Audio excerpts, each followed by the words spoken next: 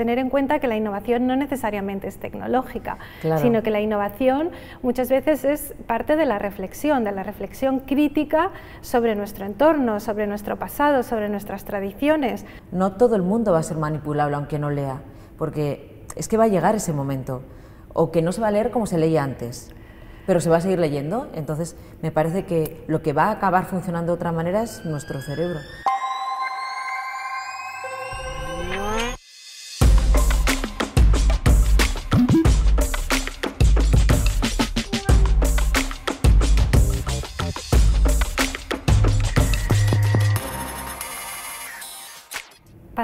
Innovación es tener una idea eh, que no ha tenido alguien antes cuando mira un problema, cuando observa un problema, eh, verlo desde un enfoque completamente nuevo eh, y muchas veces ese nuevo enfoque cambia completamente la naturaleza del problema. Hay también otros aspectos de la innovación que pueden ser desarrollar recursos, pero sobre todo el desarrollo del recurso también depende de una idea. En definitiva, la idea es lo fundamental. Pues Inés, fíjate, yo cuando pienso en la palabra innovación, cuando le daba vueltas em, para esa conversación que vamos a mantener, yo pensaba que es una palabra que cuando yo era pequeña no se utilizaba. Era una palabra reservada a, mm, ingenieros, a astronautas. Yo nunca pensaba en la innovación. Em, pero efectivamente formamos parte de una generación privilegiada para mí en la historia de la humanidad que es una generación que ha visto nacer un invento, que es Internet. Eh, estuvo la generación o, los seres humanos que vieron nacer la imprenta, los seres humanos que vieron nacer la máquina de vapor y estamos nosotros que hemos visto nacer Internet, ¿no? que somos esa especie de generación bisagra entre el mundo analógico y el digital. Cuando vivíamos en el analógico, porque vivíamos en el analógico, nunca hablábamos de innovación. La innovación era, pues eso, algo que hacían pues, eh, eh, lo que te digo, los ingenieros, los astronautas, una nave espacial, era innovadora. Sin embargo, desde que ha llegado Internet es una palabra que no nos quitamos de la boca, que hemos incorporado a nuestro lenguaje cotidiano de forma constante. Incluso en, tu exposición ahora mismo lo mostrábamos, ¿no? Innovar es crear, es, hacer algo nuevo. Y todo eso se debemos, para mí, al cambio estructural, al revolucionario y, y, social, económico, incluso político que ha supuesto la llegada de Internet, que o nos sumamos al carro de la innovación o directamente no, existimos, ¿no? ¿Te refieres a que tenemos que vehicularnos a través de Internet o que tenemos que crear? Porque nosotros desde las humanidades no creo que podamos crear eh, innovaciones técnicas, ¿no? no necesariamente, porque no es nuestro cometido. Nuestro cometido más bien es establecer una mirada crítica eh, sobre los riesgos que crean estas innovaciones, ¿eh? porque el hecho de innovar, es decir, si... Mm, yo creo que eh, innovación ha sustituido un poco a la palabra novedad. Innovadores, novatores, ha, habido mm, sobre todo desde el siglo XVIII, que es cuando se crea la idea de progreso y la idea de que hay que cambiar, de que hay que renovar, de que las cosas, eh, el, progreso, la innovación es algo positivo. Ahora lo llamamos innovación, pero en otros momentos se ha llamado mm, novedad o progreso. ¿no? Eh, y esta es una idea, es un mito del que vivimos, ¿no? el mito del progreso, cuando en el mundo medieval, en, la edad antigua o en la edad moderna, el progreso no era un concepto necesariamente positivo. Nosotros es verdad, vivimos imbuidos en esta idea de la innovación, pero creo que deberíamos tener en cuenta que la innovación no necesariamente es tecnológica, sino que la innovación muchas veces es parte de la reflexión, de la reflexión crítica sobre nuestro entorno, sobre nuestro pasado, sobre nuestras tradiciones, sobre nuestra lengua. Y, esto es tan innovador o más que lo tecnológico, porque eh, lo tecnológico sí crea un nuevo objeto, una nueva vía, un nuevo medio, pero, pero la idea es lo fundamental. Claro, sí, es que me llama mucho la atención y me alegra que, pongas el matiz, porque eh, tú dices, no sé a qué lo estás mm, achacando ¿no? cuando lo explicas, a todo. Estamos trabajando y nos piden que, este, que seamos innovadores. Eh, tenemos 20 años y nos piden que seamos innovadores. La palabra innovación está constantemente metida no solo en nuestro vocabulario, sino yo creo también en nuestra forma de pensar. Así que me parece bien que, hayas hecho, bueno, me parece bien, me, me gusta y, creo que lo incorporaré a mi lenguaje el que hayas hecho ese matiz en cuanto que ya se innovaba, que la innovación es todo lo que tiene que ver con creatividad y, con, el mundo de las ideas y no tanto con el mundo físico, con el mundo tecnológico, que la innovación no es solo tecnológica. ¿no? yo he pensado mucho en el lenguaje eh, en este tiempo porque desde luego como periodista una de las cosas que más he notado es que con la llegada de la tecnología mm, se habla mucho, se escucha poco y yo considero que hay una banalización del lenguaje. Es decir, no nos fijamos en lo que dicen las palabras, las utilizamos, las lanzamos al vacío y caiga quien caiga. ¿no? Y mm, claro, hay una parte en la que estoy segura de que hay un interés político en esta banalización del lenguaje, pero luego también hay una parte en la que eh, al hablar más que escuchar, pues tampoco nos enteramos de lo que estamos diciendo, ni nosotros ni el otro. No sé qué piensas tú de esto. ¿Te refieres a los en las redes? El lenguaje en las redes, etcétera. Bueno, es un gran problema que no, no se lee realmente. Entonces, eh, ¿cuál era el vehículo tradicional? De transmisión de las ideas? Pues normalmente era una vía escrita, ¿no? uno se permeaba de, nuevos planteamientos, de ideas, de historia, de, cualquier cosa a través de la lectura. ¿no? la lectura cada vez es menor, es la realidad. Es, eh, esto, eh, vivimos rodeados de pantallas y hay una banalización del lenguaje porque hay una falta de complejidad de los problemas. porque, disculpa que te interrumpa, es que se lee más que nunca, pero se lee mal.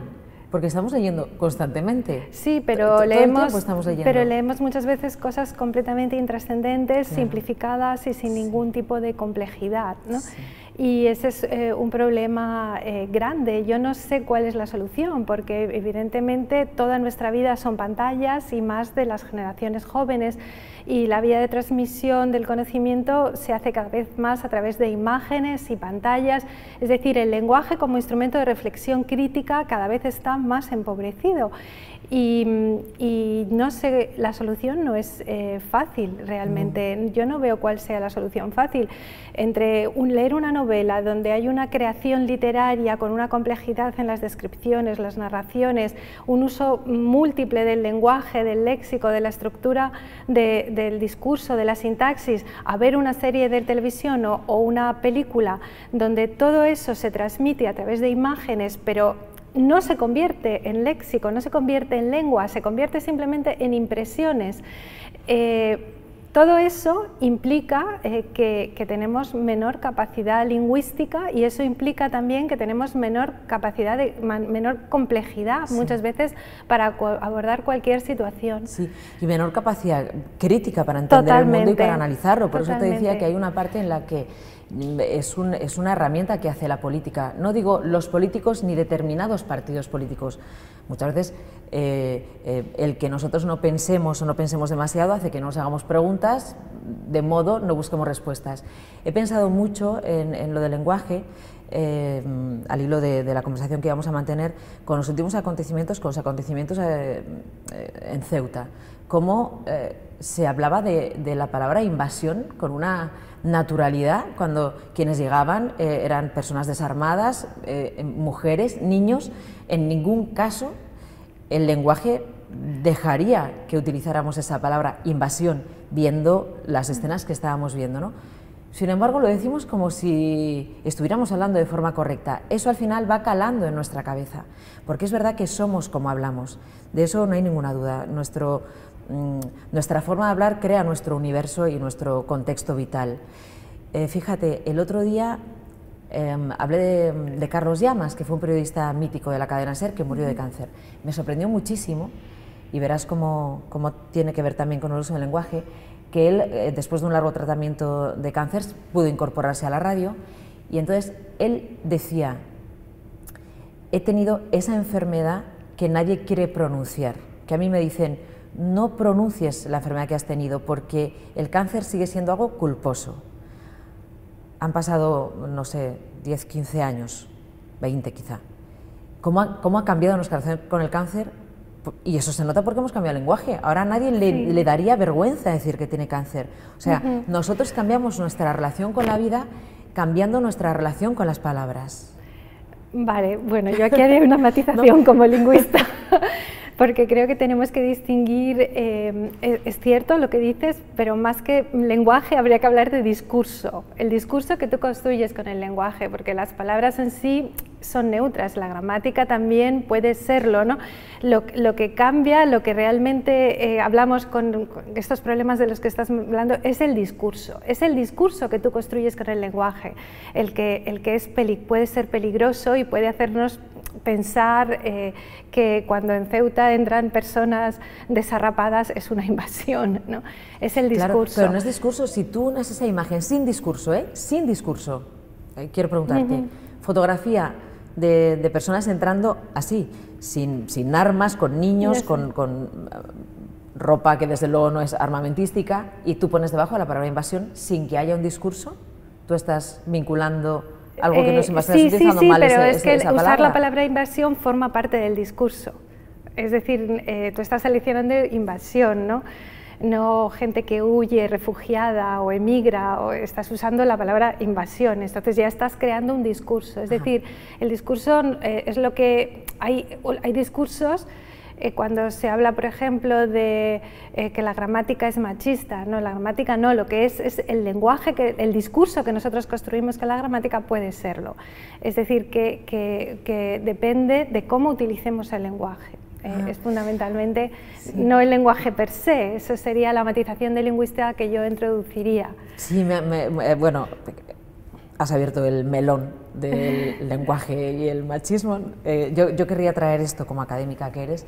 Em, yo sí creo que hay una parte del lenguaje machista, o por lo menos vinculado al machismo, que vamos cambiando según vamos cambiando también el lenguaje. ¿Qué quiero decir? Yo sé que hay mucha duda, ¿no? Entre mucha duda en el lenguaje inclusivo, niños, niñas, em, señoras, señores, constantemente utilizar el femenino y el, masculino. sin embargo, yo sí que creo que tú ahora por un altavoz en un comedor de colegio dices los niños que pasan al comedor y solo pasan los niños.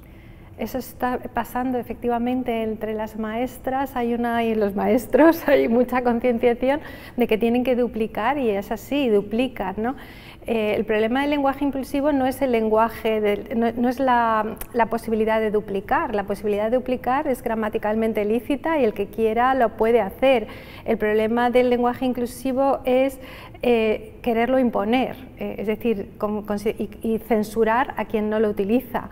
¿Entiendes? Ahí está, ahí hay un discurso alternativo que está diciendo, si tú no duplicas, en realidad eres un machista y eso no es así, porque tú estás utilizando el lenguaje tal como lo has aprendido ¿no? y no necesariamente eh, eh, eh, tiene que ser machista, porque muchas veces las gramáticas se consolidan milenios atrás, siglos atrás, entonces no necesariamente cambian adaptándose a, cualquier situación. El léxico sí, pero la gramática no necesariamente. Entonces, la convención gramatical per se no es neutra, es decir, lo que, lo que sí puede ser machista es el discurso que tú construyes con ella.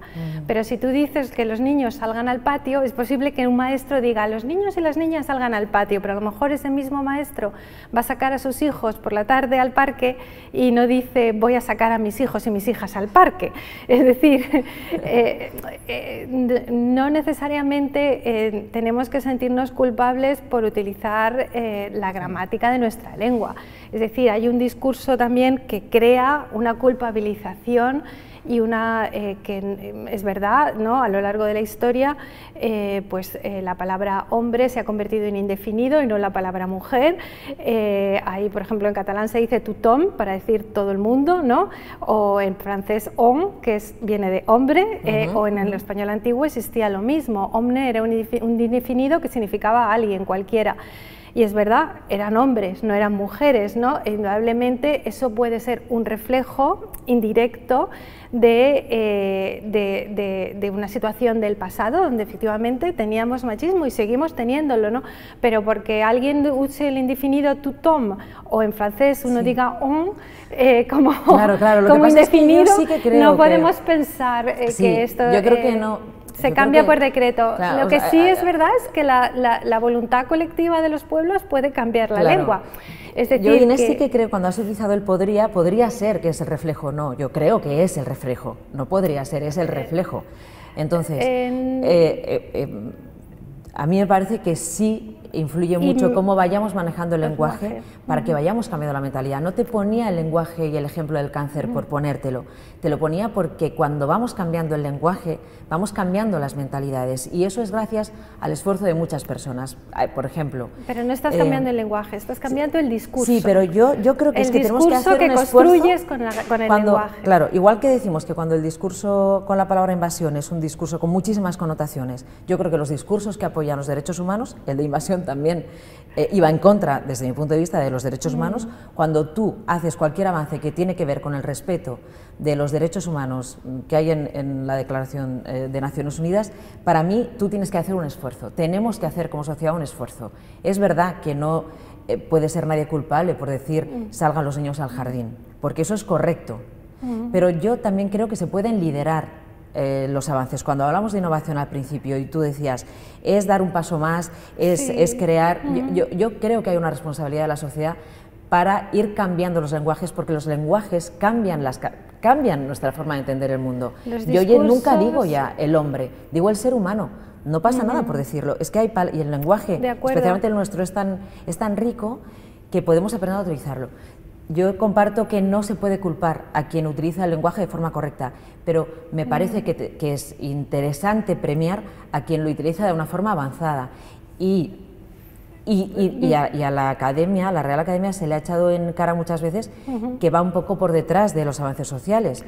Puede ser que no sea su labor, ¿eh? Puede ser que su labor, no sea esa. No es su labor, porque en realidad tú puedes decir, yo estoy a favor del discurso que, que favorece las duplicaciones, que favorece decir el ser humano, que favorece decir las personas discapacitadas y no los discapacitados, o eh, eso es un discurso, eh, eso no es gramática. Entonces, Em, como tal discurso, mientras ese discurso no sea mayoritario, no sea un uso colectivo completamente gramaticalizado, normalmente eh, no se puede recomendar. Es como si se, recomendara un discurso político o se recomendara o se dejara de recomendar un insulto. Eh, eh, es decir, la academia tiene ahí los insultos en su diccionario y tampoco te recomienda que los uses.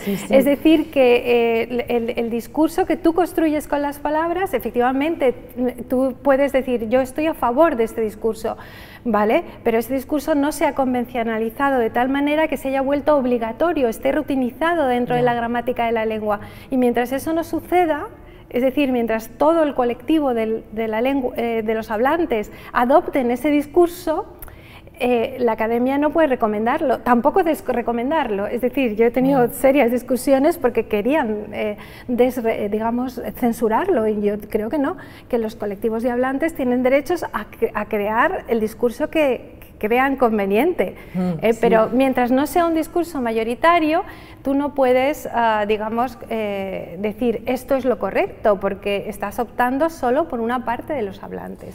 Em, te voy a poner en el futuro, ahora que estamos hablando de innovación, a ver, a ver qué me respondes. ¿Tú crees que, eh, imagínate, dentro de 50 años o de 100, estará incorporado un neutro que incorpora hombres y mujeres, por ejemplo, un neutro con la E, periodistas?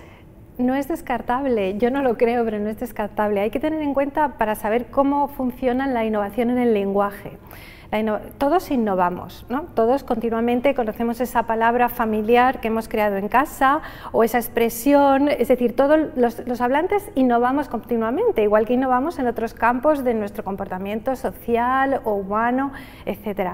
Pero al tiempo, una innovación lingüística individual no sirve de nada. Para que una innovación se generalice, eh, es necesario que otros muchos hablantes la adopten, la compartan, la imiten, se convierta en un modelo. Entonces, eh, una innovación lingüística de solo de una colectividad o de solo una parte de los hablantes probablemente puede permanecer así siglos. ¿eh? Conocemos muchos fenómenos lingüísticos que forman parte de un grupo, de una zona, de una región, pero no consiguen difundirse, no consiguen expandirse, no son imitados por el resto del conjunto de los hablantes.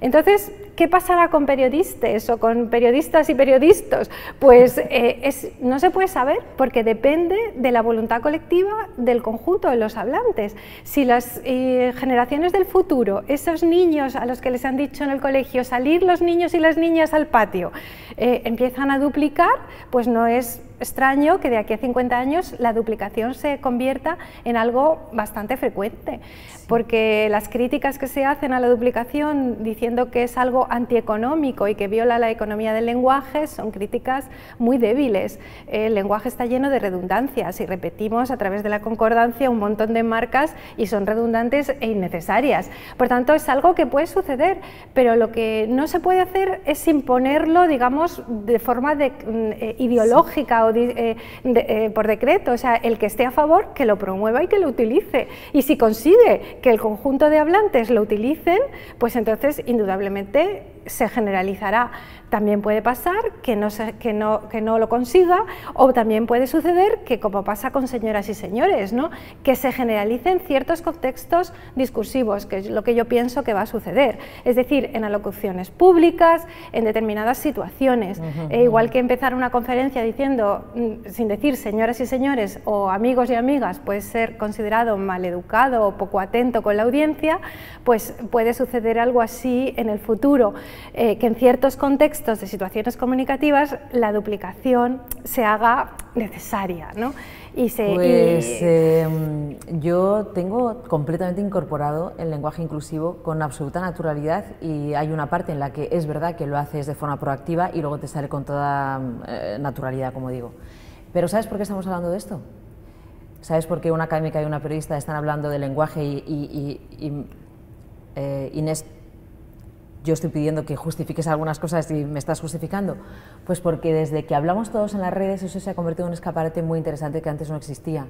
Antes no existía, era difícil ver cómo hablaba la gente, tenías que escuchar a demasiada gente y tenía que haber ¿no? de, demasiados focos como para que nos enteráramos de cómo funciona el mundo. Pero es que ahora hablamos tanto en público, todos, que es muy fácil entenderlo. Y entonces todo va mucho más rápido. Yo creo que este debate hubiera sido impensable sin las redes sin que estuviéramos constantemente haciendo esa exhibición de lo que pensamos y de, cómo nos sentimos y de lo que creemos necesario. Entonces se aceleran los debates también, entiendo que se aceleran también en la academia. Eh, es posible, sí, las redes son un escaparate tremendo, incluso para investigaciones lingüísticas ahora se está utilizando Twitter y hay mecanismos para localizar, porque es verdad, antes el lenguaje que podías documentar estaba filtrado siempre a través de un medio de comunicación, o eh, fuera la radio, fuera un periódico, es decir, que como lingüista, para documentar cualquier cosa, o ibas y entrevistabas directamente a las personas, transcribías los datos y los analizabas, o bien tenías que, no, no tenías mucho registros próximos a la realidad, a lo que realmente dice la gente. Pero hoy en día con Twitter, y es verdad, con las redes sociales, se ha creado una inmediatez comunicativa que permite eh, localizar lo que la gente realmente dice sin tener que ir a entrevistarlos. Y, esto es así. Y ahora mismo hay muchos proyectos en lingüística que, analizan los twitters y pueden además, como mucha gente tiene activada eh, la geolocalización, pueden saber que el que ha dicho esta estructura es un uruguayo que estaba en tal lugar. Es decir, que, efectivamente eh, las redes sociales han dado la, no sé si la palabra pública, pero sí la oralidad, han hecho manifiesta públicamente eh, a muchas personas que antes no tenían una vía pública de expresarse fácilmente. Y acelera el debate, entiendo, ¿no? Lo que te decía. Eh, sí, es obliga a que, a que, se piense y se repiense, no, no sé si se piensa o la gente funciona más por discursos preestablecidos y consignas, no lo sé. ¿Pero lo habláis en la academia? Eh, está, ¿Está encima de la mesa pues ese pulso, ¿no? sobre cómo habla la gente y si nosotros nos estamos quedando atrás o qué, piensa la gente de nosotros? Bueno, yo creo que la academia en general, cualquier palabra que aparece nueva la incorpora con bastante velocidad y ahora con bastante más velocidad de lo que era tradicional. Es decir, que el léxico está bastante actualizado en general. ¿no?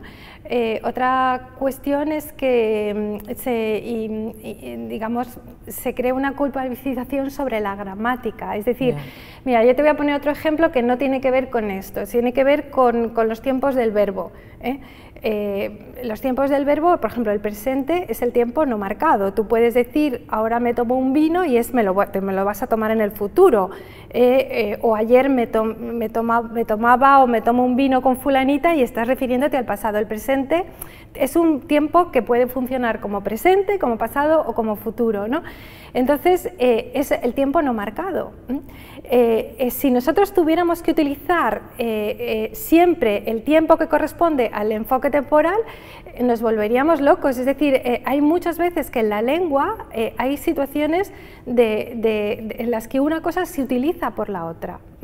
Entonces, mm, si estableciéramos una reflexión así sobre los tiempos, eh, em, también nos veríamos obligados a no poder utilizar un presente histórico, a no poder utilizar un presente como futuro, porque las cosas tendrían que significar siempre lo mismo en cualquier situación, ¿entiendes?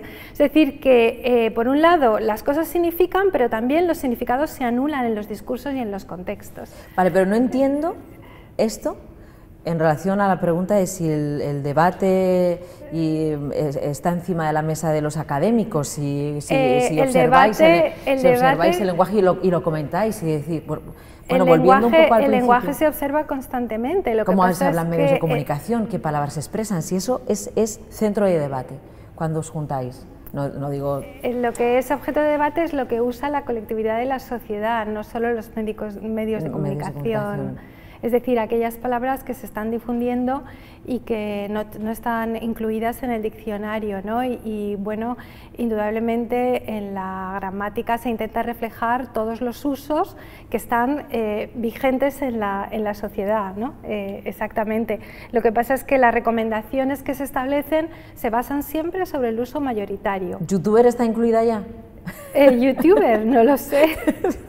No tengo ni idea. Una palabra que, nos, que, nos, hemos inventado, realmente. Es una de esas innovaciones que hemos hecho, ¿no? Sí, YouTuber. no lo sé. Influencer. Influencer tampoco lo sé eh, si está incorporada o no, pero es verdad que tenemos muchas y constantemente, ¿no? Se introducen muchos neologismos. Eh, sí. Mm, tú sustituyes el, el P, que era de, del poeta Ángel González y um, has ocupado, no sé si tú has ocupado después de su fallecimiento. Yo siempre pienso en Ángel porque él era un obseso de, de la búsqueda de la palabra precisa. Sí. Es verdad que los poetas tienen, eh, tienen eso. Mm, cuando tú no sabes cómo expresar algo con todas las palabras que hay en el diccionario y que están a tu alcance, llega un poeta y encuentra la palabra que describe exactamente lo que tú estás sintiendo o pensando. ¿no? Y entonces él sufría mucho con, con, la búsqueda de la palabra, estaba siempre, me, me falta una palabra, eh, no veis que sufro. Y, y eso venía al hilo un poco también y nos retoma al principio de esta conversación de cómo hemos banalizado un poco el significado de las palabras. Eh, hablas del discurso, es verdad. Eh, nos cuesta encontrar la palabra exacta con todo lo que escribimos, todo lo que aparentemente leemos. Mm, nos quedamos un poco en la superficie, ¿verdad? Me, me da la sensación a la hora de hablar de ir... Mm, eh, quizás, pero creo que esto sucede por la falta de lectura, ¿no? Y que no creo que sea achacable solo al discurso político, ¿no? Creo que tiene que es, es un problema de cambio social. ¿Y si no, volviéramos a leer, Inés? ¿Y si, y si leer pues tendríamos como algo del pasado? mucho más manipulables, porque realmente todos los mensajes o los discursos que se construyen a través de las redes sociales, los medios de comunicación, cada vez son más breves, más simples, son casi consignas muchas veces, ¿no? Entonces ya no tenemos un análisis complejo de los problemas.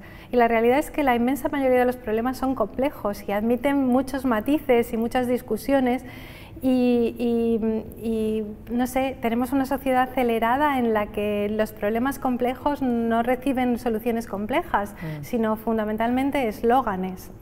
Y esto a mí me parece decepcionante y, esa, y sí, es da un poco de miedo porque realmente las generaciones del futuro que a lo mejor ya no leerán un artículo de fondo en el periódico o un artículo de fondo en una revista especializada, sino que simplemente se conformarán con las vías Twitter o otras formas, o los titulares simplemente, mm, serán generaciones quizá más manipulables. ¿no? A mí es que me parece que no se va a volver a leer como se leía. Eh, cuando e, eso también tiene que ver con lo de lo que hablamos del progreso al principio.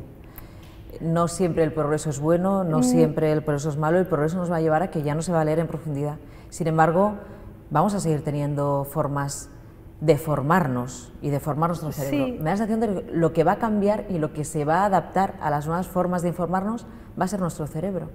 No todo el mundo va a ser manipulable aunque no lea, porque es que va a llegar ese momento, o que no se va a leer como se leía antes, pero se va a seguir leyendo. Entonces, me parece que lo que va a acabar funcionando de otra manera es nuestro cerebro, que se va a adaptar a entender mensajes y a ser críticos con mensajes que nos llegan de otra manera, que nos llegan a través de la lectura digital o que nos llegan a través de los videojuegos o que nos llevan a través. Lo que pasa es que, como vivimos en este mundo entre analógico y digital, eso tardará, tardará en ocurrir. Pero no es que me, me da un ataque si pensamos que ya vamos a ser todos manipulables. No, no, que por otra parte yo también lo creo. Yo tampoco lo creo. Eh, vamos, no, no, yo también lo pienso. No se trata de hacer pronósticos apocalípticos, apocalípticos porque realmente no sabemos lo que va a suceder. Lo que sí está claro es que cada vez hay menos cultivo de, o sea, se memorizan menos cosas y quizás es lógico porque cualquier cosa la puedes encontrar directamente en Internet. La cuestión es, ¿esa fuente es fiable o no? Pero es verdad, ¿qué sentido tiene a lo mejor eh, dedicar tanto tiempo a, la memoria si eh, puedes encontrarlo en fuentes inmediatas? ¿no? El problema es que la memoria a lo mejor también permite la reflexión y la capacidad crítica y la misma innovación, porque solo cuando uno ha memorizado eh, ciertas cosas o las ha interiorizado es cuando se te ocurre la idea luminosa de cambiar algo. Eh, a mí siempre me ha, sucedido, muchas ideas de artículos o ideas de cosas nuevas se me han ocurrido dando clase y explicando a mis alumnos cosas que había recibido y, entonces al explicarlas decir, pero esto no tiene ningún sentido, esto realmente, eh, tal como me lo han contado, realmente, es, realmente cuando te das cuenta, ¿no? Pero si no lo tienes en la memoria, está, esa capacidad crítica yo creo que se ve claramente mermada. Entonces, ¿qué vamos, ¿cuál va a ser el futuro? Es decir, un mundo donde realmente vamos a explotar mucho menos la memoria, pues no lo sé, quizá no pase nada, ¿no? porque en el mundo griego toda la cultura se transmitía de vía oral y todo se transmitía por la memoria. Desde luego en la edad moderna los poetas eran capaces de recitar y memorizar todo y hoy en día cada vez hemos sido capaces de memorizar menos y tampoco hemos perdido la capacidad bueno, crítica. Oye, claves memorizamos muchísimas. Ah, sí. La del móvil, la del banco. bueno, hay gente que las guarda ¿eh? y entonces ya no memoriza ninguna. tenemos que ir despidiéndonos, pero... Eh, Mira, yo creo que a, mí lo que me ha aportado la lectura, la lectura profunda en los años de estudio, es que me ha hecho diferenciar el fondo de la forma. Eh, que me parece que, es algo muy interesante para que luego cuando tú analizas el mundo o analizas lo que ocurre alrededor o analizas una noticia, un acontecimiento que ocurre en cualquier lugar, seas capaz de poner perspectiva y de situarlo en su contexto. Entonces la lectura profunda de textos complejos te enseña eso, a diferenciar la forma del fondo, del significado del significante, el qué te está queriendo decir quien escribió eso. Y, a mí me ha ayudado a entender el mundo. Ahora voy a estar esperanzada pensando que aprenderemos a ser críticos de otra manera tenemos que aprender, eso sí. Sí, quizás aprendamos a, descodificar los discursos de Twitter, ¿no? Y entonces, que son tan simples y entonces no hay que realmente descifrar un ensayo o descifrar un poema eh, para tener una reflexión, sino aprender a descifrar un meme. Inés, ha sido un placer esta, esta conversación. Lo mismo digo, ha sido un placer para mí. He aprendido mucho. Yo también, este yo también.